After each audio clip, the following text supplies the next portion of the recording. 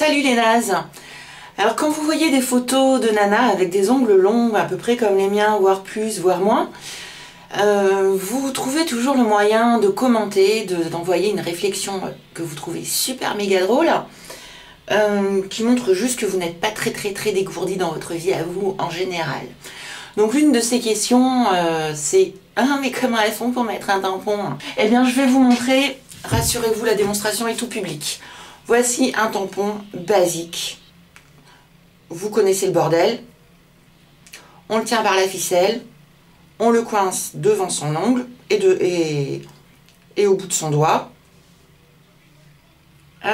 Et on l'enfile comme ça. Voilà, c'est pas plus compliqué que ça. Vous voyez qu'avec un ongle, ça passe aussi. Maintenant, effectivement, si vous n'êtes pas dégourdi, il se peut que vous vous fassiez mal.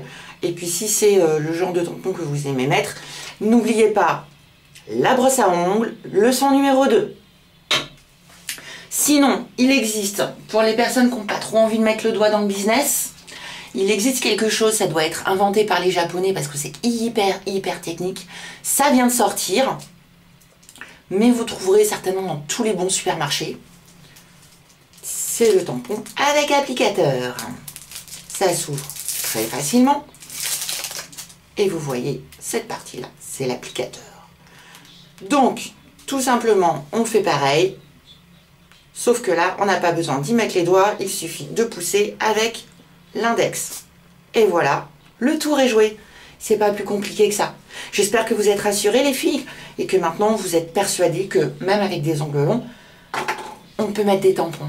J'espère que cette vidéo aura été très très utile pour vous. Si vous avez d'autres questions aussi débiles les unes que les autres, n'hésitez pas à me les envoyer. Ciao les nazes